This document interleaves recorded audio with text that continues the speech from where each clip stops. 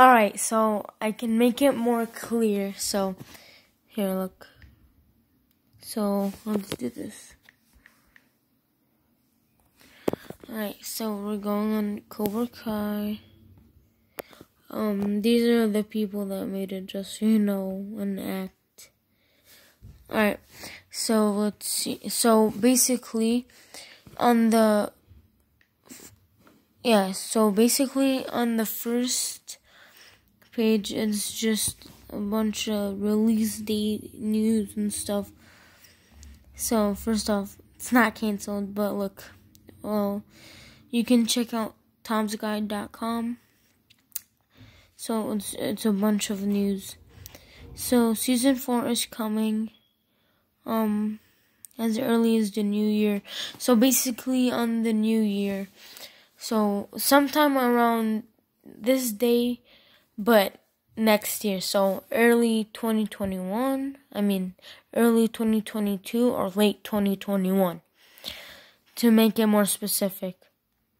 And then if you didn't understand the ending of season 3, it basically shows that many people um like you can say as people but like say the two dojos um the two dojos teamed up together. Now there's a team. And n- next season, uh, of course, release date once again, somewhere in between uh, early 2022 or late 2021. So yeah.